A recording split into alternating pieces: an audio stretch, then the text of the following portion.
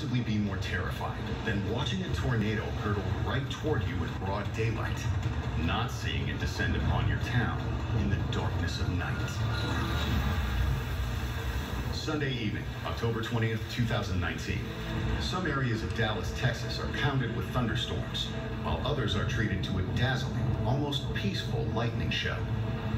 Wow, it's like fireworks in the heavens. It's amazing. It really kind of lights up the sky, not just in one area, all around, like almost a panoramic lighting of the sky. But what happens next takes many residents by surprise.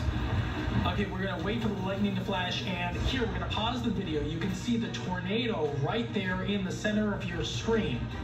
It's almost like a movie, right? The lightning just illuminates that tornado, and you can see the debris being tossed out and whatnot.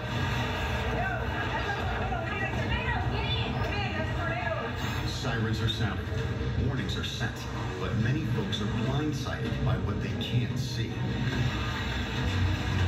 Inside a grocery store, shoppers scramble for shelter.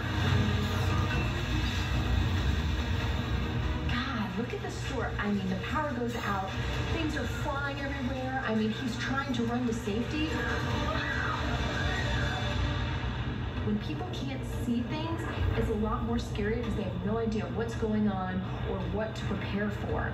You know, they may get the sirens, but a lot of people need a secondary source of confirmation that there is a tornado or something severe going on to actually take shelter. For those very reasons, nocturnal tornadoes are two and a half times more deadly than their daytime counterparts, even when alerts go out. Some people actually turn the alerts off of their phone because they think they're annoying. You definitely want to have those alerts on your phone. That's going to save your life. The odds of disaster increase even more because this storm has triggered multiple twisters. Babe, it's getting bigger. An unbelievable 10 tornadoes tear through the Dallas Metroplex that night with varying intensity.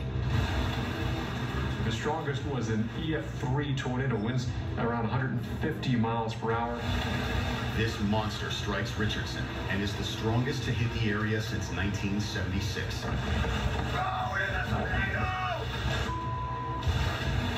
Go to your safe spot, lowest level, most interior room. Not go try to film the tornado or try to see it and visually confirm it, because that could cost you your life. It's not until the following morning that residents see just how much massive damage has occurred. Look at the strip mall. I mean, it looks like a bomb went off. In this one instance, timing was good for this tornado. Because imagine coming through the shopping center at 2 in the afternoon.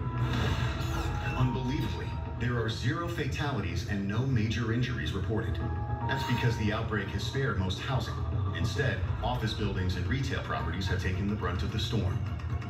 The only silver lining I would think is the fact that these tornadoes did occur at night, which means people weren't shopping and weren't there, which probably saved dozens of lives. An outbreak of 10 night tornadoes is a rare event.